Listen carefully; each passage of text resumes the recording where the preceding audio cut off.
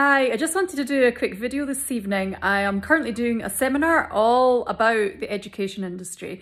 So everything I'm hearing is coming over from research from America and specifically in Forbes magazine. So they're predicting that the online education industry will be worth over tr a trillion dollars in the coming years. This is amazing. It's massive. Why not get involved?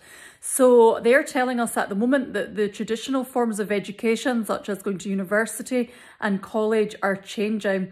Partly due to the COVID pandemic, people have realised how easy it is to learn from their living rooms and their bedrooms and complete online courses and people are really keen to learn in bite-sized chunks. So I would urge you to think of what skills you have. Now it doesn't necessarily need to be yoga, it could be anything. Perhaps you've got some fantastic insights on how to survive divorce or some top remedies for curing um, childhood eczema, whatever they are, record a video. It will bulletproof your business during the upcoming recession.